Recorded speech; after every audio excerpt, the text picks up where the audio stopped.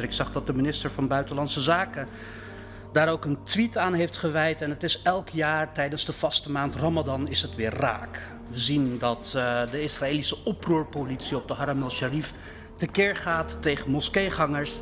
En elk jaar zien we ook weer dezelfde reactie. Um, de minister van Buitenlandse Zaken die is dan disturbed uh, door het geweld van de, van de Israëlische autoriteiten.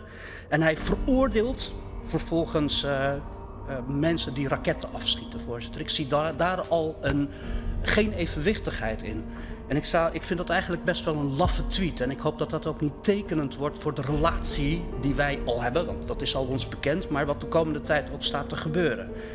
En voorzitter, dat brengt mij eigenlijk bij het eerste punt. Want op de website van het ministerie van Defensie zien we de volgende tekst pronken. Defensie, ik citeer, Defensie draagt bij aan vrede, vrijheid en veiligheid in de wereld. En op de website van het ministerie van Buitenlandse Zaken kunnen bezoekers soortgelijke teksten lezen.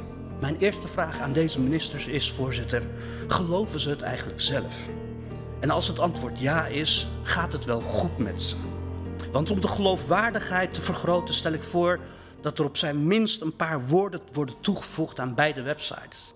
Behalve als het om Israël gaat.